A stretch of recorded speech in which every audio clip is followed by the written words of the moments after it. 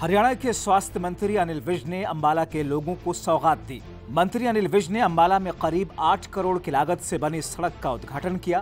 Cantt माजरा से घसीटपुर के बीच सड़क से लोगों को काफ़ी राहत मिलेगी। ये अम्बाला छावनी की जितनी बाहरी कॉलोनियाँ हैं, उनके लिए टांगरी के बाँध के ऊपर आठ किलोमीटर लंबी 11 करोड़ रुपए की लागत से सड़क का निर्माण कराया गया है। इससे बाहरी कॉलोनियों को शहर में जाने के लिए बहुत लाभ होगा। सड़क उद्घाटन के मौके पर अनिल विज अपने पुराने अंदाज में नज़र आए। उन्होंने विपक्षी दलों पर जमकर निशाना साधा। नहीं पहले इन्होंने जो इनके पहले कांग्रेस के अध्यक्ष थे हुड्डा एंड पार्टी ने अशोक तमर का भी सिर फोड़ दिया था।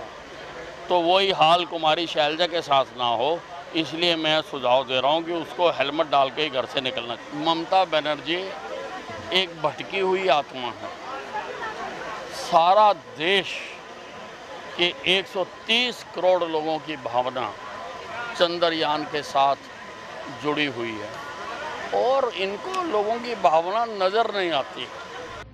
हरियाणा विधानसभा चुनाव नज़दीक है। चुनाव को देखते हुए सत्तारूढ़ बीजेपी जनता को लुभाने की कोशिश में है। आर नाइन टीवी के लिए अम्बाला से नरेश सोनी की रिपोर्ट।